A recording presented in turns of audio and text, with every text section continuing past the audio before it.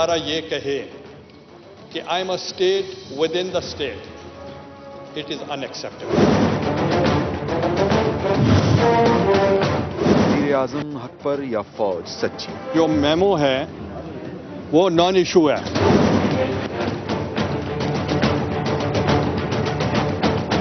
अगर कोई इंडिविजुअल ये सोचे कि they are not under the government they are mistaken they are under the government and they will remain under the government क्या वज़ीर आज़म general को बर्खास्त करेंगे या फिर मेरे अज़ीज़ अगर यहाँ भी महकूम रहना है तो मैं फिर मैं ये समझता हूँ कि इस पार्लियामेंट की और इस सिस्टम की फिर कोई अहमियत नहीं। या होगा बांग्लादेश मॉडल पाकिस्तान का मुकद्दर। वालेकुम and good evening everybody you watching cross fire नाजीन, शाम से लग रहा था कि तलवारें बेनियाम होकर सोनती जा चुकी हैं। अल्लाह खैर के भरपूर टकराव किसी भी वक्त रूनुमा हो सकता है। फौज के तर्जुमान महकमे की तरफ़ से वज़ीर आज़म के चीनी जरीदे को दिए गए इंटरव्यू का रद्द अमल दो दिन बाद जारी किया गया, जिसमें कहा गया कि फौज के दोनों अफसरान पर वज़ीर आज़म के इल्ज़ाम संगीन नौयत के हैं, जिनके नतज का, जो है वो अफसोसनाक हैं और गहरे हो सकते हैं। इस प्रेस रिलीज़ जारी होने के बाद वज़ीर आज़म ने सेक्रेटरी दिफा lieutenant general retired Naeem Khalid Lodhi पर मिस कॉन्डक्ट का इल्ज़ाम लगाते हुए उन्हें बर्खास्त कर दिया। सेक्रेटरी डिफेंस आर्मी चीफ के करीबी आदमी तस्वर किए जाते हैं, जिनके बारे में यह खबर 27 दिसंबर को शाया हुई थी कि वो वज़ीर आज़म की नाराज़गी के बावजूद अपना नया हल्फनामा सुप्रीम कोर्ट में दाखिल करवाने से इनकार करते रहे। अपने पुराने हल्फनामे में सेक्रेटरी दिफा ने इंकशाफ किया था कि फौज और आईएसआई पर हुकूमत का ऑपरेशनल कंट्रोल नहीं। तब भी पीपल्स पार्टी की क्यादत ने वज़ीर आज़म को मशवरा दिया था कि वो सेक्रेटरी दिफा को हटाकर तसादुम का रास्ता इख्तियार ना करें। सो तसादुम टलता रहा। लेकिन आज फौज के तर्जुमान की प्रेस रिलीज़ के बाद वज़ीर आज़म ने तसादुम का रास्ता इख्तियार कर लिया और उनको हटाकर यह पैगाम दिया कि यूँ भी हो सकता है। दूसरी तरफ़ रावलपिंडी की तरफ़ से ट्रिपल वन ब्रिगेड का कमांडर तब्दील करके जवाब दिया गया कि ऐसे को तैसा, यानी कि अगर हुकूमत का इरादा इंतहा तक जाने का है तो हम भी डटे हुए हैं। ये किसे नहीं पता कि ट्रिपल वन ब्रिगेड किस काम आती है। वज़ीर आज़म को गिरफ़्तार करने, सदर महदूद करने, दारुल हुकूमत में सरकारी तनसीबात का कंट्रोल संभालने, और तो और। तीन नवंबर 2007 को सुप्रीम कोर्ट पर भी कब्जा कर लिया गया था। लेकिन अल्लाह का बहुत बहुत शुक्र है कि फौज की तरफ़ से बता दिया गया कि ये मामूल की तकर्री और तबादला है, जो आज नहीं बल्कि चार रोज पहले किया गया था। अब इस जिगर काट माहौल में ताज़ा हवा का झोंका, चीफ जस्टिस ऑफ़ पाकिस्तान का ये बयान रहा नाजरीन के जिसमें उन्होंने ये कहा कि हकीकी जमहूरियत में ही तमाम मसाइल का हल है। माइंड यू, हकीकी जमहूरियत में ही। दूसरी तरफ़ खुर्शीद शाह ने मौलाना फजल रहमान से मुलाकात के बाद ये भी कहा कि आर्मी चीफ को नहीं हटाया जाएगा, वो अपनी मुद्दत पूरी करेंगे। अब से थोड़ी ही देर पहले वज़ीर आज़म ने इंकशाफ किया है कि आर्मी चीफ ने मेरे बयान की वजाहत मुझसे इजाज़त लेकर की है। लेकिन साथ ही वो अपने बयान से भी पीछे नहीं हटे, यानी कि सूरत हाल काबिल इतमान नहीं। मैंने 5 जुलाई 1977 का मार्शल लॉ लगते तो नहीं देखा, लेकिन पढ़ा ज़रूर है कि आखिरी वक्त तक जनरल जिया आइन का दम भरते थे, लेकिन किया वही जो उनके दिल ने ठान रखा था। 12 अक्टूबर उन्नीस के कबल के हालात खुद मैंने देखे हैं कि दो दो टोपियाँ लेने वाले जनरल परवेज मुशर्रफ ने वज़ीर आज़म के साथ मुआदाना रवैया जारी रखा और नवाज़ शरीफ साहब ने इस रवैये से खलासी के लिए उन्हें बरतरफ कर दिया। और 3 नवंबर 2007 की शाम भी भूलने वाली नहीं है, जब जनरल परवेज मुशर्रफ ने सुप्रीम कोर्ट के खिलाफ मार्शल लॉ लगा दिया। आज भी वैसी ही शाम लगी। लेकिन फ़र्क ये था कि 3 नवंबर 2007 के अलावा बाकी तमाम सानहात में ये कदर मुश्तरक थी कि तब हम यानी कि मीडिया और आज़ाद अदलिया नहीं थी। मगर जरा सोचिए, अगर होती भी तो क्या हो जाता? वही जो 3 नवंबर 2007 को हुआ, जज कैद, मीडिया बंद सवाल ये है कि अगर ये तब हो सकता था तो अब कैसे नहीं? मीडिया और आज़ाद अदलिया तीन चार ट्रकों की मार है स्ट्रिक्टली स्पीकिंग तो फिर इस सूरत हाल को संभाल कौन सकता है? हुकूमत पीछे हटकर या मुल्क की सियासी जमात पार्लियामेंट के गिरद हिसार खड़ा करके? अब देखेंगे कि होता है क्या। Muslim League Noon, M Q M और हुकूमत के दीगर इतिहादी सर जोड़े मुशावरत कर रहे हैं। दूसरी तरफ़, कल रावलपिंडी में चीफ अवामी स्टाफ ने तमाम फौजी प्रिंसिपल स्टाफ ऑफिसर्स का इजलास तलब कर लिया है। देखना यह होगा कि कल फौज क्या फैसला करती है और ये भी देखेंगे कि क्या सनाखान जमहूरियत और पार्लियामेंट के नोहे पड़ने वाले लाइन के इस पार होते हैं या फिर उस पार। नवाज़ शरीफ साहब तो एक रवायती सियासतदान की तरह इलेक्शन का मुतालबा करते हुए ये कह गए आज कि हुकूमत किसी मुहिम जोई और उखाड़ पिछाड़ से बाज रहे। तो क्या नवाज़ शरीफ साहब ये तस्लीम करेंगे कि 12 अक्टूबर उन्नीस सौ निन्यानवे को उनकी उखाड़ पिछाड़ भी गलत थी? रही हुकूमत तो पीछे हटते नज़र नहीं आ रही। ये वो हुकूमत है कि जो हर दुरुस्त काम गलत वक्त पर या हर दुरुस्त काम कुछ बुरा हो जाने के बाद करती है। हो सकता है कि अब दुरुस्त काम गलत मौके पर भी करने की ऑप्शन हुकूमत के पास ना बचे। हुकूमत क्या कर सकती है, फौज क्या करेगी? इसी पर बात करेंगे और ब्रेक के बाद हमारे साथ मौजूद होंगे बाबरवान साहब, हामिद मीर साहब, रऊफ क्लास्टा साहब और जनरल कयूम और हाजी अदील साहब। वी बी राइट बैक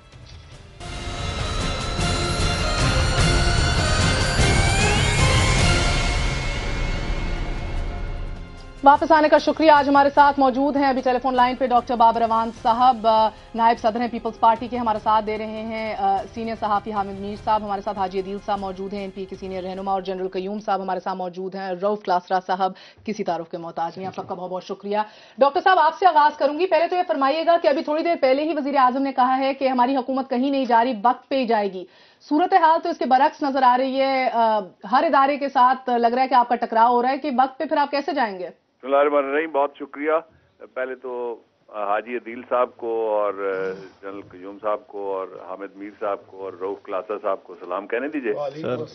और दूसरी बात यह है कि ये जाती हुई किसको नज़र आ रही है? ये वही तो हैं जिनको तीन हफ़्ते बाद जाना शुरू हो गई थी तीन महीने बाद और फिर तीन साल भी गुजर गए। दूसरा ये है कि जाने का तरीका क्या है? आइन में लिखा हुआ कोई तरीका इस्तेमाल कीजिए बिस्मिल्लाह रहमान रहीम कीजिए कल कौमी असम्बली का इजलास हो रहा है सदर के खिलाफ आप ले आए इम्पीचमेंट और वजी अजम के खिलाफ नो कॉन्फिडेंस किसने एतराज़ करना है? लेकिन अगर मावराए आइन कोई बात होनी है तो ये पाकिस्तान की पार्लियामेंट ना इतनी कमज़ोर है ना इतनी जमहूरियत गई गुजरी है कि इसको कोई कान से पकड़ के आराम से घर भेज सकता है। जिनको जाती नज़र आ रही है डॉक्टर साहब वो कह रहे हैं आप अपनी मुहिम जोइयाँ छोड़ दें और उखाड़ पिछाड़ भी छोड़ दें। क्या वाकई कोई उखाड़ पिछाड़ आपके जहन में है इस पर कोई काम हो रहा है? जिन लोगों में मैं बैठता हूँ, उठता हूँ, या जिनके साथ कोई पॉलिसी मेकिंग में मैं शरीक होता हूँ, उनके जहन में ऐसी कोई बात नहीं है। ये जो फितना घर हैं उनके दिमागों की ये परवरिश ऐसी हुई है बदकिस्मती के साथ पाकिस्तान में कि वो फितना गरी से बाज नहीं आते। आपको याद है, एक दफ़ा आधी रात को कोर्ट लगवा दी गई थी। एक साहब उठे, उन्होंने कहा कि मैंने वो नोटिफिकेशन देखा हुआ है, जिस नोटिफिकेशन के ज़रिए ये फारिग किया जा रहा है जजों को। और फिर वो वहाँ से बिस्तर बोरिया बाँध के कहीं और तशरीफ़ ले गए लेकिन वो नोटिफिकेशन दिखा नहीं सके लोगों को। अच्छा एक और बात आप कल आ, आ, कोर्ट का मसला था आज फौज के साथ मसला था सुर्खियाँ भी यही रही। मैं आपसे ये जानना चाह रही हूँ कि आप बार बार बांग्लादेश मॉडल की बात करते हैं डॉक्टर साहब। क्यों करते हैं? क्या नज़र आ रहा है आपको? कोर्ट में क्या मसला था कल? पाकिस्तान की हुकूमत ने क्या किया है कोर्ट के हवाले से? कोई ऐसी बात बता दीजिए जो कोई गलत बात जिसको कहा जा सकता हो लॉ की ज़ुबान में या कॉन्स्टिट्यूशन की ज़ुबान में जो कोर्ट के हवाले से की गई हो। और जहाँ तक आज का ताल्लुक है आज भी कोई बता दीजिए जो कॉन्स्टिट्यूशनली जिसके पास पावर थी हायर करने की उसके पास पावर थी फायर करने की और बाकायदा इंक्वायरी होती है फायर करने से पहले और पूछा जाता है आदमी से लिख के जवाब लिया हम्म। जाता है और लिया गया है मेरे ख्याल में इस केस में भी इसलिए मुझे किसी जगह पे कोई गैर आइनी काम वज़ीर आज़म की तरफ़ से नज़र नहीं आया और उन्होंने ये भी बता दिया है कि जो आर्मी चीफ साहब ने आईएसपीआर से जो बयान जारी किया उनसे गुफ्तगु करने के बाद किया इसलिए कहाँ है वो झगड़ा जिसके ढोल पिटे जा रहे हैं? मैं तो आपसे पूछ रही हूँ बांग्लादेश मॉडल की बातें तो आप ही करते हैं जनाब। हाँ, अब अब आप आई ना सही सवाल के ऊपर। नहीं अब आप सही बात पे आए तो जरा खुल के वजाहत कर दीजिए। कि बांग्लादेश मॉडल। तीन मॉडल चल रहे हैं और और तीन मॉडल चल रहे हैं और हमारे मेहरबान है तार खलील साहब उन्होंने लिखा कि उसके खदो खाल वाजे होना शुरू हो गए। अब बांग्लादेश मॉडल बर्मा मॉडल और टेक्नोक्रेट मॉडल जिनकी बात हो रही है। कुछ लोग ये कह रहे हैं कि ये जमहूरियत नहीं चल सकी। ये वही लोग हैं जो हर दफ़ा आंधी से पहले आके ये बताने वाले हैं कि जनाब आंधी आ रही है। वो कहते हैं जमहूरियत नहीं चल सकी, इसलिए इसको रैप अप करके एक टेक्नोक्रेट्स ले आए। पाकिस्तान में ये पाँच दफ़ा तजर्बात हुए हैं। General Sikandar Mirza, general Yahya Khan, general Ayub Khan, general Ziaulhaq और जनरल मुशरफ लेकिन ये टेक्नोक्रेट्स नहीं चल सके। जमहूरियत चली है। जब भी इसको मौका दिया गया, चली है। अगरचे दो दो साल चली है पिछली दफ़ा। और अब चौथे साल में सेनेट के इलेक्शन के करीब ये सेनेट सेंड्रोम खड़ा हो गया। दूसरा इसका जो पहलू है, बांग्लादेश मॉडल का, आपने देखा कि बांग्लादेश में क्या हुआ? वहाँ बांग्लादेश की अदालतों के ज़रिए से, वहाँ के जो बरदरान इस्लाम है, उन्होंने मिलकर ढाई साल हुकूमत चलाने की कोशिश की, लेकिन वो हुकूमत चल नहीं सकी। और फिर वो पार्टी जिसको निकाला गया था, वो पार्टी बरसर इकतदार आ गई। और जिनको उस वक्त शौक था कि बांग्लादेश मॉडल ज़रूर बनना चाहिए, दरखास्तें लेके हमारे एक दोस्त की तरह वो घूम रहे थे। उनको फिर उसी पार्टी के साथ ट्रक पे खड़े होकर जमहूरियत वापस लाओ के नारे लगाने पड़े। अच्छा ये तो सही है ना ता, ता, ता, तारीख अपनी जगह डॉक्टर साहब मुझे बस ये बता दीजिए इससे पहले मैं पैनलिस्ट से भी बात करूँ इधर कि बांग्लादेश मॉडल तो फौज अदलिया को आगे रख के अपना काम करती है ना? आपको ये नज़र आ रहा है? मैं तो शहीद मोहतरमा के साथ था जब और फरतुल्ला बाबर तो उनकी गाड़ी में जो गुफ्तगुएँ होती थी फरतुल्ला बाबर वो जानते हैं वो बांग्लादेश मॉडल का उस वक्त भी ज़िक्र किया करती थी।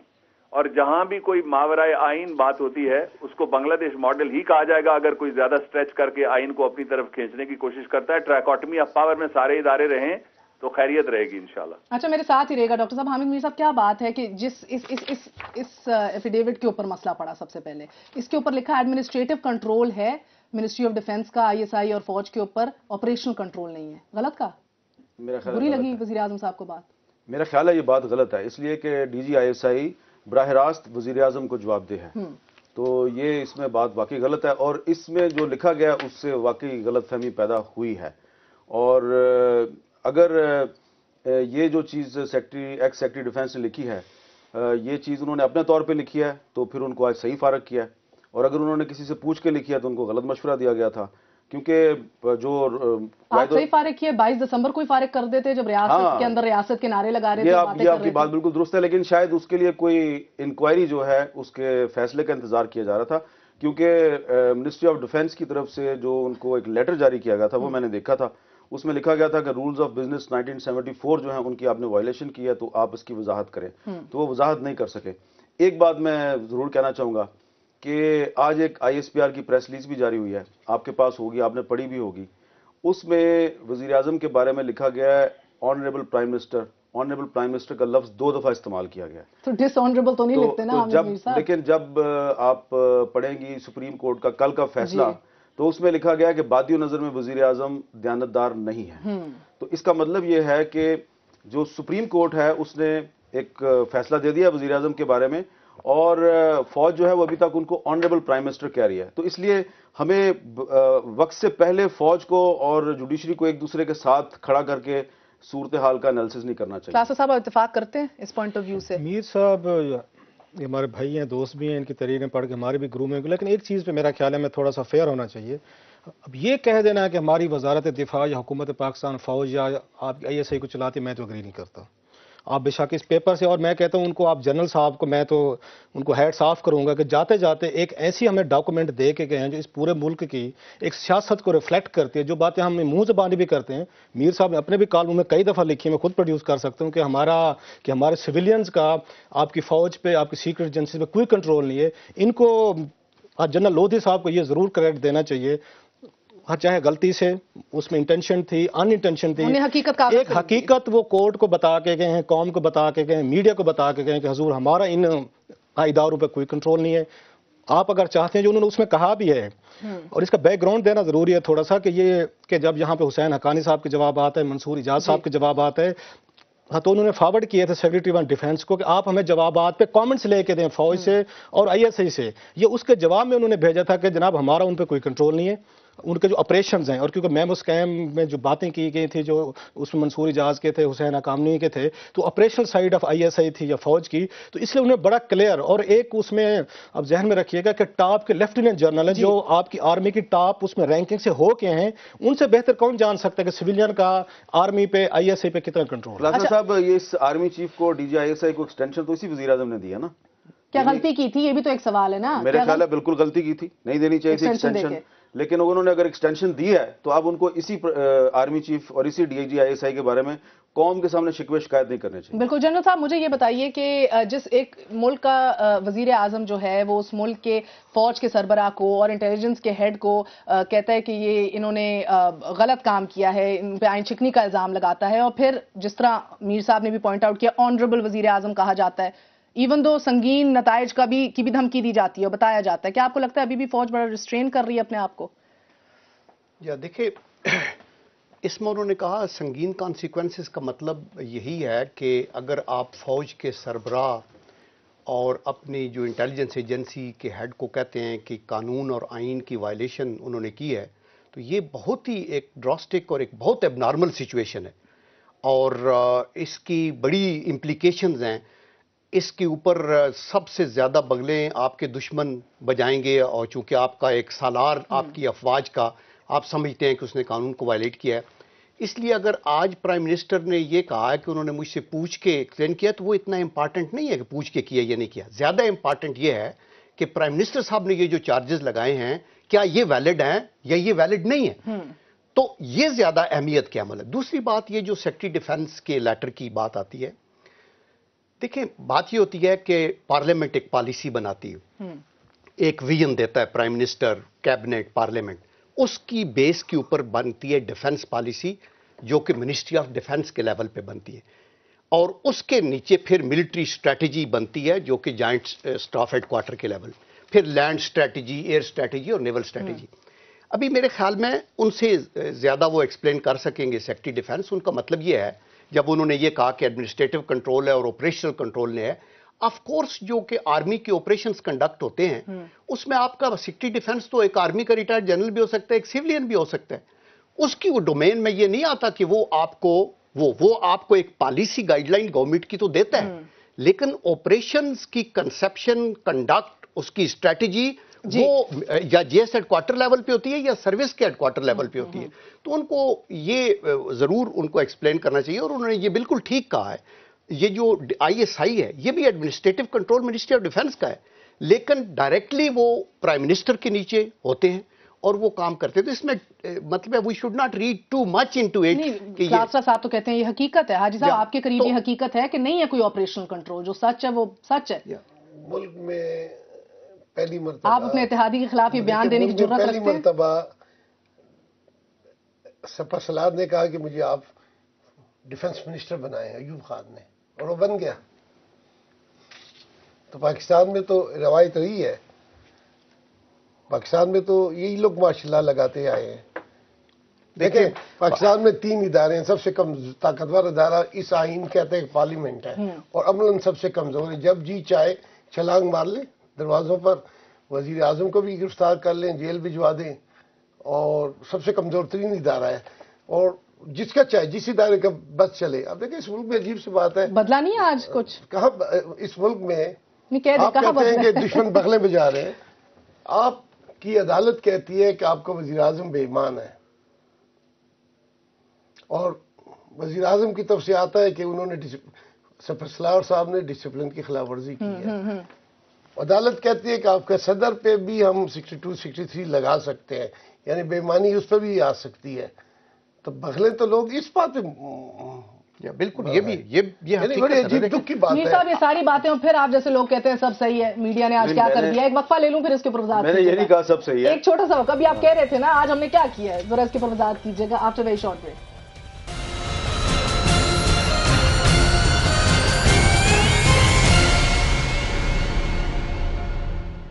so बात आज हो रही थी मीर साहब के मीडिया ने आज क्यों इस तरह का किरदार अदा किया? मगर उसके साथ साथ ये भी बताएँ कि आपको नहीं लगता कि एक चाइनीज़ जरीदे को इंटरव्यू देने से बेहतर नहीं था कि एडमिनिस्ट्रेटिव एक्शन ले लेते वज़ीर आज़म साहब?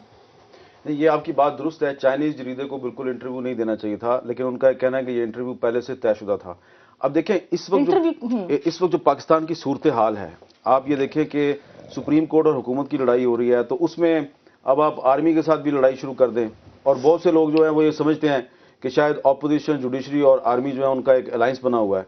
तो अगर फौज जो है वो एक प्रेस रिलीज़ जारी कर रही है और ऑनरेबल प्राइम मिनिस्टर का लफ्ज इस्तेमाल कर रही है, हालाँकि एक दिन पहले सुप्रीम कोर्ट ने उस प्राइम मिनिस्टर को डिसऑनेस्ट कहा है। तो मेरे जैसा आदमी जो कि चाहता है कि मेरे मुल्क में ज़्यादा आग ना फैले तो मैं चाहता हूँ कि मैं उसमें पानी डालूं तेल ना डालूं पेट्रोल ना डालूं।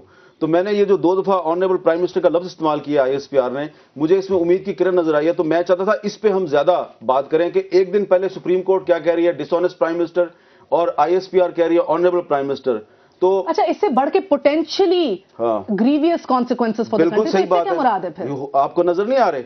अमेरिका ने ड्रोन अटैक दोबारा शुरू कर दिए हैं। सुसाइड बॉम्बर्स वापस आ गए हैं। सिर्फ़ जमरूद में अटैक नहीं हो रहा। आज़म के बयान की वजह से आए नहीं नहीं नहीं नहीं।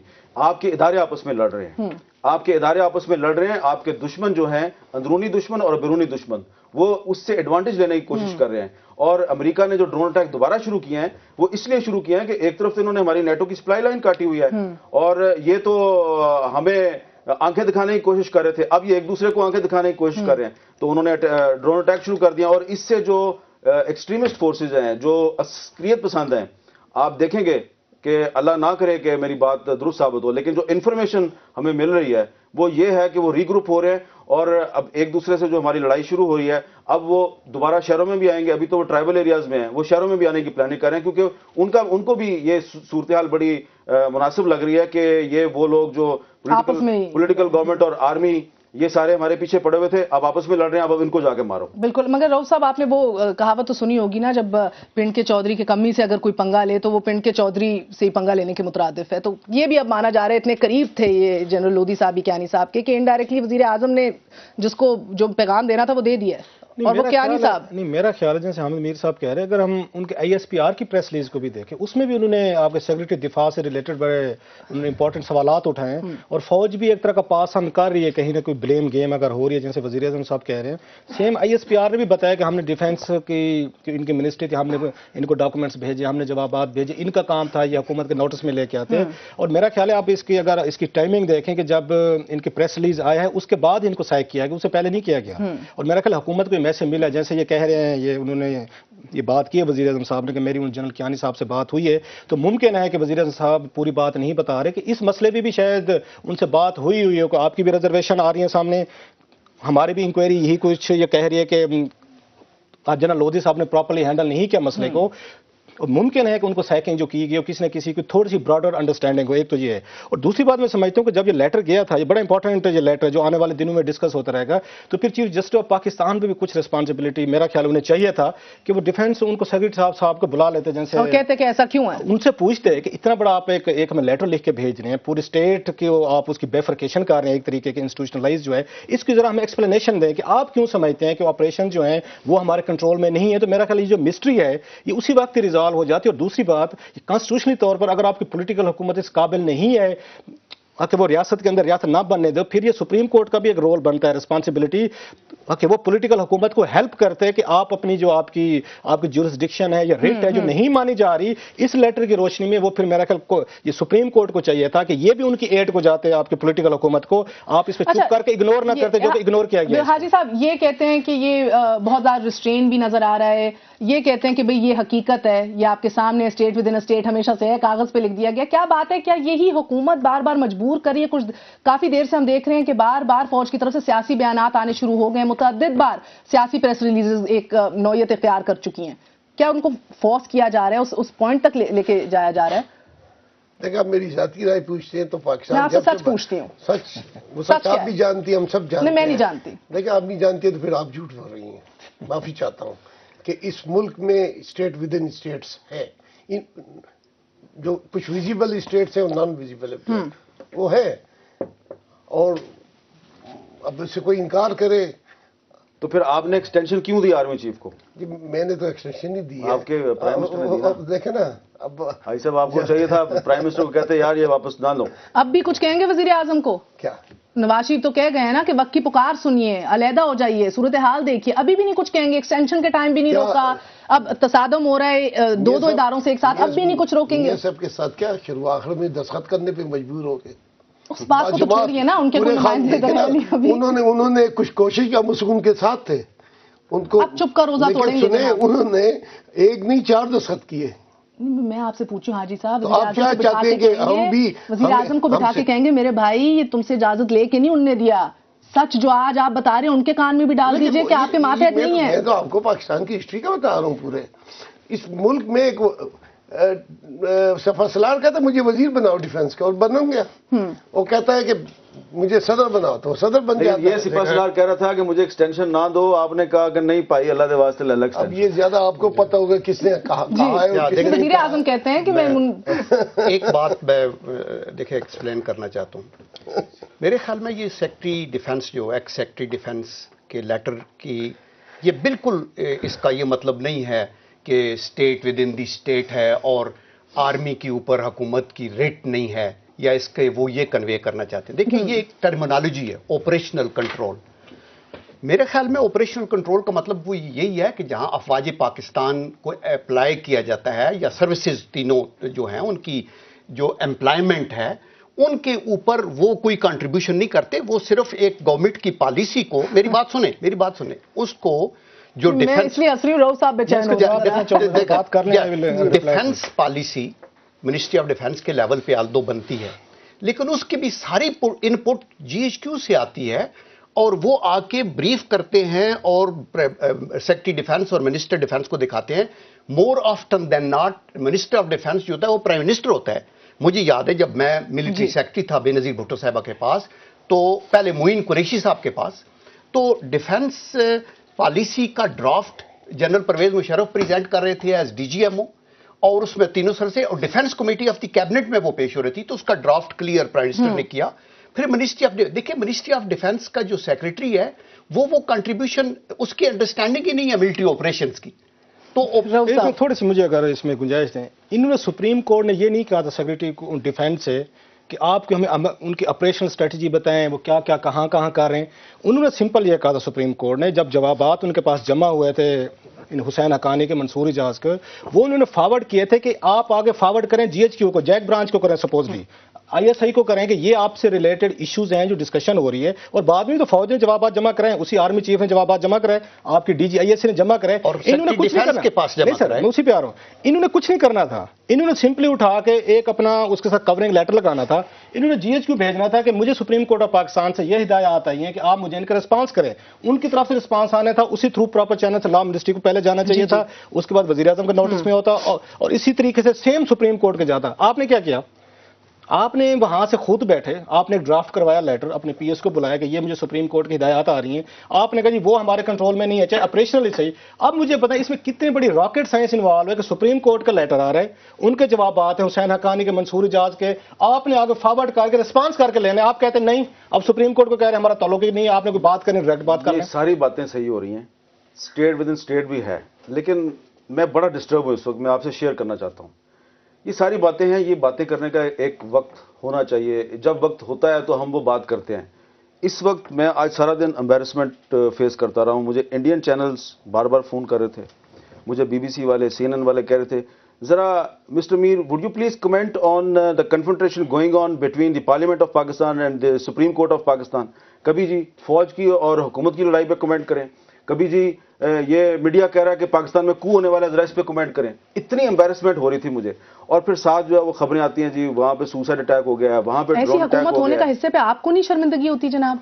जी- जी- जो शर्मिंदगी मीर साहब को यही बात मैं कहना चाह रहा हूँ कि इस वक्त हम ये जो एक दूसरे से लड़ रहे हैं खुदा के लिए कोई रास्ता निकालें इस आग में पानी डालें। मीर साहब थोड़ी सी बात को आगे लेके मेरा ख्याल है कि ये जो एक लड़ाई लड़ी जा रही है। ये 9 मार्च के बाद जो चीफ जस्टिस ऑफ़ पाकिस्तान ने नो की थी एस्टेब्लिशमेंट को ये लड़ाई लड़ी जाएगी ये डिबेट होगी क्वेश्चन रेज किए जाएँगे। That the best time to debate and settle this issues आज इनको डिबेट नहीं करेंगे सेटल नहीं करेंगे ये दोबारा रिकरेंस होती जाए। ये 12 अक्टूबर में जो कुछ हुआ मीर साहब से बेहतर कौन जानते हैं कि आपके एस्टेब्लिशमेंट उस वक्त कारगल किया?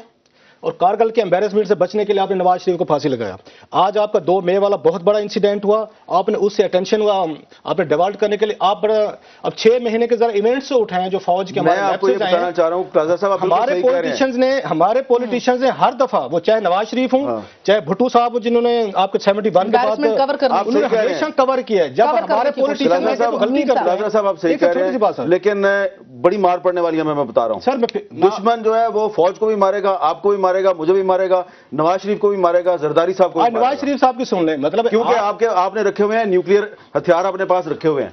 वो बहुत मारेंगे आपको अगर आप इस तरह आपस बात हैं मैं एक वक्फा ले लेती हूँ आप ज़रूर ये बात बताएँ और आपने मेरे सवाल का जवाब नहीं दिया शर्मिंदगी होती है हाजी साहब नहीं होती। मुझसे पहले आपने मुस्कुरा दिया मेरे वक्फे का वक्त हो गया। एक छोटा सा वक्फा लेते हैं वक्फे के बाद आके ये भी जानने की कोशिश करेंगे। याद होगा आपको बारह अक्टूबर उन्नीस सौ निन्यानवे को जब उस वक्त के वज़ीर आज़म या नवाज़ शरीफ ने जो है तब जनरल मुशर्रफ को की बरतरफी के नोटिफिकेशन का जो हुक्म दिया था उसके ऊपर सिग्नेचर करने के जुर्म में तब के जो सेक्रेटरी दिफा थे आपके जनरल इफ्तार अली खान साहब उनको नौकरी से हाथ धोने पड़े थे। तो आज नरगिस सेठी, जो करीब तरीन है वज़ीर आज़म की, उनको जो एडिशनल चार्ज दिया है सेक्रेटरी दिफा का, ये कितनी अहमियत का हामिल है? ये आपको बताएँगे एक वक्फे के बाद।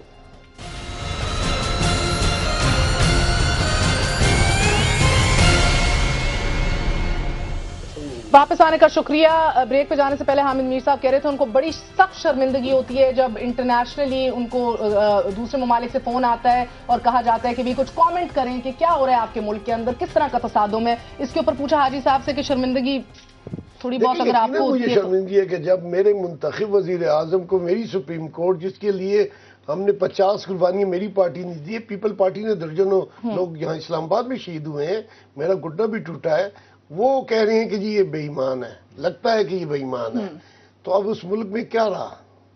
सही है। अगर कल खुदा न खासा इस बात से मुझे आपका लग रहा है खुदा थोड़ी न खासा- शर्मिंदगी सुप्रीम कोर्ट को खुदा न खासा हुकूमत की तरफ़ से एक लिस्ट आ जाए कि फलां फलां सुप्रीम कोर्ट के जजों ने दो दो प्लाट लिए हैं। फिर क्या होगा? आती रहती हैं ऐसी लिस्टें। हाँ जी। शर्मिंदगी सबको होनी चाहिए। तो हमें शर्मिंदगी तो हो रही है थोड़ी सी थोड़ी सी आपको थोड़ी सी हमें थोड़ी सी फौज को थोड़ी सी सवाल ये है कि। मैं ये समझता हूँ कि इन तमाम इदारों को मगर हो नहीं रही। मसला ये है तमाम- मुझे तो बहुत हो रही है। तमाम तो इदारों। को आप ऐसा क्या करते रहे तमाम इदारों को थोड़ा सा नरमी थोड़ा सा तहमल हाँ। करना चाहिए। इतनी हद तक आगे न चली जाए बात कि फिर हम वापस हम अब अब ये बताइए जनरल साहब कल प्रिंसिपल स्टाफ ऑफिसर्स का भी इजलास है। क्या पूरी फौज को ऑन बोर्ड लिया जाएगा और ये डिसाइड किया जाएगा कि अब नेक्स्ट क्या रद्द अमल होना चाहिए? क्या कोर्स ऑफ़ एक्शन है? देखिए ये तो हमें उनका जो एजेंडा है उसका पता नहीं है। उसमें एक ये चीज़ तो डिस्कस होगी। लेकिन इन एडिशन टू दैट और बहुत सी चीज़ें होती हैं। अनलेस वी नो कि उन्होंने क्या डिस्कस करना है तो हम उस पर कमेंट नहीं कर सकते। लेकिन ये सिचुएशन बड़ी सीरियस है। उन्होंने यही डिस्कस करना है कि मुल्क की सूरत हाल क्या है, जो अभी तक हमें पता लगा आर्मी चीफ और डीजीआईएसआई के ऊपर ये इल्ज़ाम कि उन्होंने आइन और कानून को वायलेट किया है और प्राइम मिनिस्टर ने वो बयान वापस अभी तक नहीं लिया ना ये एक्सप्लेन किया है ना एक्शन लिया उनके खिलाफ। इसके ऊपर आपको लगता है कि गुस्सा भड़केगा जरा इस मीटिंग में? तो, काफ़ी कोर तो नहीं गुस्से की बात नहीं है। बात वो वहाँ थ्रेड बेयर डिस्कस होगी। मैं जो बात अर्ज़ करना चाहता हूँ वो ये कहता हूँ कि देखिए अ, हाजी साहब ने कहा है कि अयूब खान डिफेंस मिनिस्टर बन गया तो उसको किसी ने बनाया तो बन गया। आप अगर यहाँ पॉलिटिकल गवर्नमेंट अपनी स्ट्रांग हो और अपना काम पार्लियामेंट इफ़ेक्टिव तरीके से करे तो किसी मैं, मैं ये कहता हूँ कि चीफ आर्मी स्टाफ वहाँ बैठूगा बहुत अपने आप को खुश नसीब तस्वर करेगा और वो ये कहेगा कि काश के यहाँ कायद अजम मोहम्मद अली जना के स्टेचर का बंदा बैठा हो जिसकी वजह से कुर्सी का एजाज बढ़े बजाय इसके कि कुर्सी की वजह से प्राइम मिनिस्टर का एजाज बढ़े और वो मुल्क को चलाए तो वो सब सर्वियंट अदारे हैं वो साथ चलेंगे। माजी में फौज से गलतियाँ हुई हैं। कौन करेगा? आप कि लीडर किस तरह का है। मेरी बात मुंतब वज़ीर आज़म सदर भी सही तरीके से इधर पहुँचा है हर एक ही हमारे चीज़ साथ बात ठीक है। तो अब ये कौन? चीफ हमारा ये करेगा आप देखिए माजी- कायद के लेवल का है कि नहीं? नहीं नहीं वो तो नहीं करेगा। वो तो नहीं करेगा लेकिन अगर प्राइम मिनिस्टर इस तरह की प्रेस कॉन्फ्रेंसेस करेंगे हाँ। जब आपका चीफ चाइना के दौरे पे है और आप ये कहेंगे कि ये आइन की और उनको ये नहीं पता कि ये यहाँ बात नहीं कहने तो वाली कि बुला के गलत किया वज़ीर इसमें जो आईएसपीआर को जो बार बार जो प्रेस रिलीज़ के ज़रिए एड्रेस करती है हुकूमत को उनको भी ख्याल करना चाहिए कि जब आपका सदर जो है वो बीमार था और दुबई में बैठा हुआ था तो इधर से भी एक प्रेस रिलीज़ जारी हुई थी कि जी हमने तो सिर्फ़ एक मिनट बात की है मिनट की बात की है हाँ, ये भी तो गलत है खुश ना हो जाए ये भी तो गलत है दूसरी बात इन्होंने की जनरल साहब ने माफ़ी चाहता हूँ कि पार्लियामेंट अपना काम करे। इस पार्लियामेंट ने जितना काम किया है आपके 18 अमेंडमेंट मुतफिका पास किए। नेशनल फाइनेंस कमीशन आपका पहली दफ़ा जर्नैल सब नहीं ला सके। मुतफिका आया है। देखिए, पार्लियामेंट से आप जो- और क्या चाहते हैं? सबसे ज़्यादा कानून साजी हुई है। जमहूरी हुकूमत और पार्लियामेंट की जो आउटकम है किसी कोई सियासी पब्लिक की फला की शक्ल में नमूदार होती है। वो नहीं हाँ। देखे ना गवर्नेंस वज़ीर अदालतों में पेश हो रहे हैं। जो है ये जो है आपके गैस हाँ, है, governance पानी बहुत बुरी रही है वो, वो, खराब रही ये मुझे तो बताइए, आज आज अगर आप। पार्लियामेंट को पोटेंट करें हकूमत ठीक हो दयानतदारी से काम करे अदारे आपके नीचे और परवेज क्यानी साहब की मौजूदगी में तो आज तक कोई ऐसी शिकायत नहीं आई अच्छा, कि कल आपको क्या लग रहा है कि किस तरह की शिकायत का इजहार किया जाएगा इस प्रिंसिपल स्टाफ ऑफिसर्स के इजलास के अंदर? पहले भी आपको पता है कुछ खबरें आई थी। एक चीज़ महर मुझे समझ नहीं आ रही। क्या सिर्फ़ सियासतदान करप्ट है इस मुल्क में? ये जो ये बात की गई कि बिल्कुल नहीं जज भी करप्ट है जनरल भी करप्ट है सहाफी भी करप्ट हम भी है मैं उसी पे आ रहा हूँ आपके बात बताऊँ। ये कहते हैं कि हमारे यहाँ करप्शन हमने भी स्टोरीज की हैं स्कैम्स किए हैं बहुत सारे सुप्रीम कोर्ट में पेश भी होते रहे। एक छोटी सी बात जो सात आर्मी के टॉप लेफ्टिनेंट जनरल्स पे अरबों रुपए के केसेज हैं। और इसी इंक्वायरी ने कहा था चीफ ऑफ़ आर्मी स्टाफ साहब ने कहा हम एक्शन लेंगे। आपके चार साल गुजर गए दो हज़ार कोई में थे। आपके सुप्रीम कोर्ट में मैं ये कहता हूँ आपके सुप्रीम कोर्ट में कैसे केसेस हैं। जिनके ऊपर आप अपने जर्नल हैं जो आपके जर्नल अच्छे हैं। आपके जर्नल नहीं कहते कारगिल हो जाए। हम ये बिल्कुल नहीं आपके यहाँ पे हम ये कहते हो हर बंदा जो गिल्टी है जो जो मुजरम है जिसके ऊपर इल्ज़ाम है उसको कैफरे किरदार तक ले अच्छा जाए खत्म हो गया। आप, आपके आपका आखिरी वर्ड होगा। मुझे बता दें नरगिस सेठी को ये एडिशनल चार्ज देने का क्या कोई इसलिए कि वो इससे पहले छह साल तक मिनिस्ट्री ऑफ़ डिफेंस में ज्वाइंट सेक्रेटरी के तौर पर काम करती रही हैं। और कोई मकसद नहीं है ज़्यादा और बड़ा। कोई कोई और स्पेशल नोटिफिकेशन साइन करने मुझे नहीं लगता ऐसी कोई ओके आप क्या कहना चाह रहे थे? कहना चाहता हूँ ये ब्रेकिंग है कि इस आइन के तहत कहीं भी नए सूबे बनाने की इजाज़त नहीं है। ये अक्सर जो कहते हैं कि हम बिल पेश करेंगे करारदाद पे ये आइन इजाज़त ही नहीं देता तो इस। आइन के तहत कहीं पे भी प्राइवेट लश्कर बनाने की भी इजाज़त नहीं है जो आप बार बार बना रहे हैं हर जगह? कोई नहीं बनाया। बना रहे हैं? प्राइवेट जिसकी वजह से धमाके हो रहे हैं प्राइवेट लश्कर बहुत बड़ा मसला है। आप उसको मैं इस वक्त तो आइन को modify कर लेंगे ना। नहीं वो आप कर भी नहीं सकते। इसके लिए आपको सौ आर्टिकल्स बदलने पड़ेंगे। और जिस आर्टिकल टू अच्छा चल बहुत बहुत शुक्रिया आप सबका की बात की जा रही है सब आर्टिकल फोर उसमें यह है कि डिलिमिटेशन हो सकती है आपके सूबों की।